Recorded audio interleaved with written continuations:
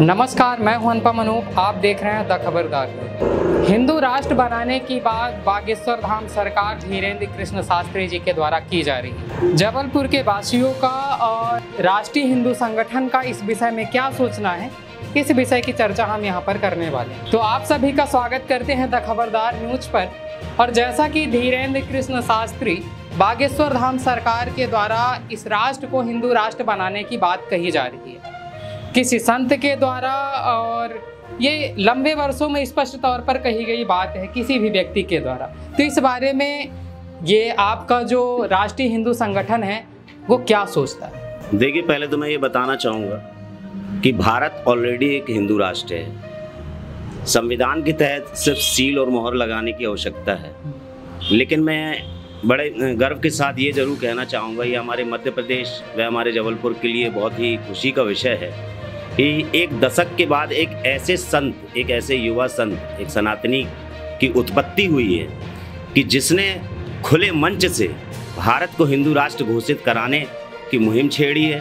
वह भारत को हिंदू राष्ट्र बताया है वह सनातन धर्म को जागृत किया है। आपका परिचय जानना चाहेंगे? मैं संदीप बोस राष्ट्रीय हिंदू संगठन जिला अध्यक्ष जबलपुर। जबलपुर। और ये जानना चाहेंगे कि जो पिछले बागेश्वर धाम से जुड़े हुए विवाद रहे हैं उन विवादों पर क्या राय है आपकी? देखिए सर हिंदुओं पर हमला मानते हैं आप? बिल्कुल जी। हिंदुओं पर तो हमला सदैव होता आया है बरसों से होता आया है। यही हमारे सनातन धर्म के लिए एक बहुत मतलब मैं उसको ये ये कहना चाहूँगा कि ये बहुत हमारा दुर्भाग्य है कि हमारे ही लोग सब कुछ जानते हुए भी, सिर्फ़ एक छोटी सी प्रसिद्धि पाने के लिए, उन्होंने हमारे युवा संत बागेश्वर धाम सरकार जी के ऊपर अनर्गल और अनैतिक आरोप लगाए हैं और राष्ट्रीय हिंदू संगठन का प्रत्येक सदस्य, प्रत्येक हिंदू सदस्य बागेश्वर धाम सरकार का पूर्ण रूपेण समर्थन करता है और करता रहेगा।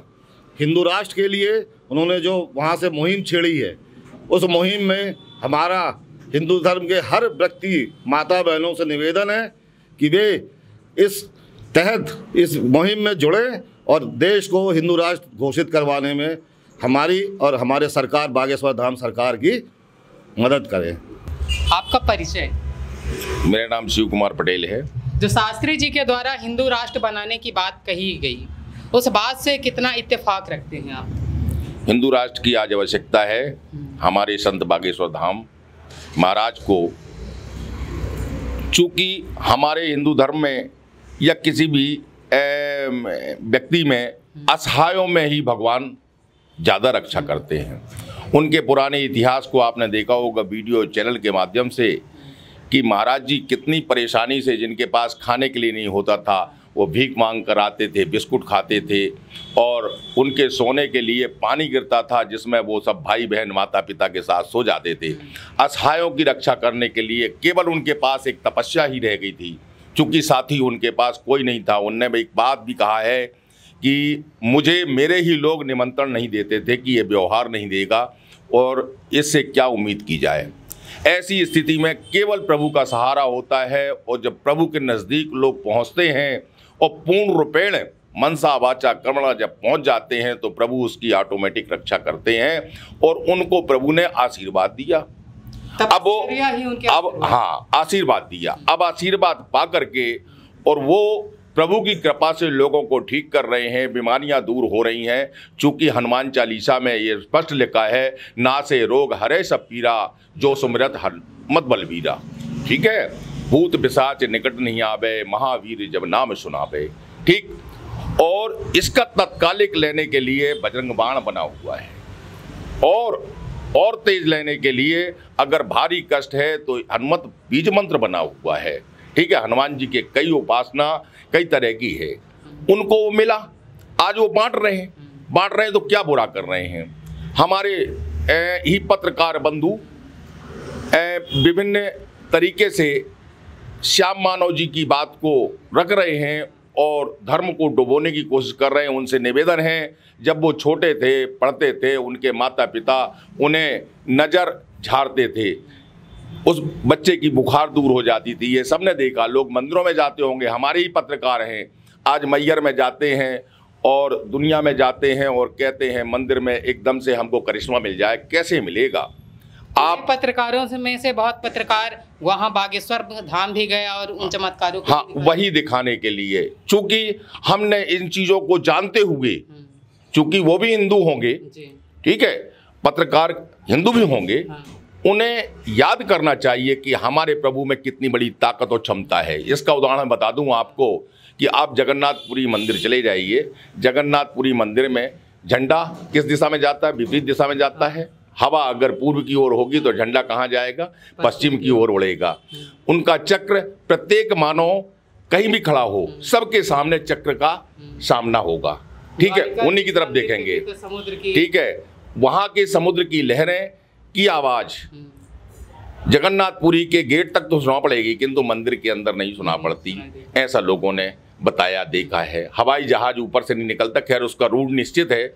किंतु जीव जंतु पशु पक्षी सॉरी पशु पक्षी उसके ऊपर से नहीं उड़ते मंदिर के ऊपर से।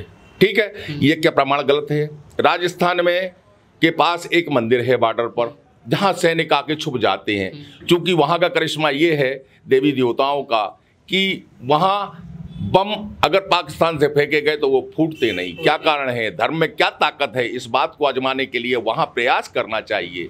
हमारे कामाख्या देवी मंदिर, कामाख्या देवी मंदिर में पत्थर की मूर्ति से राजस्वला का आना संभावित है।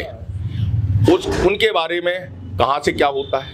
ये करिश्मा आज तक कोई नहीं पकड़ पाया। उज्जैन चले जाइए। उज्जैन में आप काल भैरव महाराज के मंदिर में जाइए। शराब कहाँ जाती है? ये करिश्मा वहाँ जा करके देखिए। हिंदू अगर कोई अच्छा लोगों की मदद कर रहा है हेल्प कर रहा है तो उसी की टांग पकड़ के खींचने की आवश्यकता। शायद अपने ही हिंदू भाई मतलब एक कहावत है, कोल्हाड़ी ने क्यों काटा पेड़? तो उसी पेड़ के बैट ने उसका साथ दिया, इसलिए काटा। तो मुझे यह बात कहते हुए बड़े गर्व के साथ, धैर्य के साथ मैं कह रहा हूँ कि जय हो हिंदुत्व की, और कम से कम आप जानते हुए हिंदुत्व की बारे में वास्तविकता उजागर तो करें।